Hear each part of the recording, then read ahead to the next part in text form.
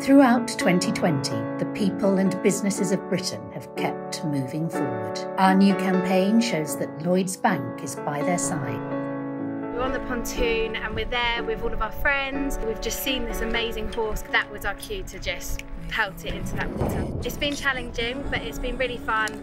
The water is beautiful and the scenery is just epic. I'm a young fisherman, he sees that horse and it's the, the warmth that he feels, that kind of stoic comfort in a way. I think that instills him with a little bit of hope. How many times do you have to ride your bike, do you think? 151. 151 times, but it was really good. I think it's a very emotional moment when your child achieves something and it's quality time spent together.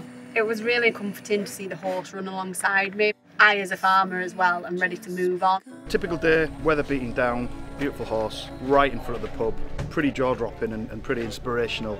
As we approach the horse, we race him. Look, smile. We didn't realise there was so much involved. The Black Horse is so iconic, and the Flying Scotsman has to be one of the most famous steam engines ever. I think once we've coordinated the loco with the horse, it's going to be brilliant. Well, I'm the driver, I pull the levers, and Jonathan's the fireman, he shovels the coal and keeps the water in the boiler. On a hot day, oh, it's stifling, you'd be, be white hot in there. I looked out the window and saw the horse. I just thought it was a magical moment. We see this horse, and then the reality kicks in. I was like, these horses are past.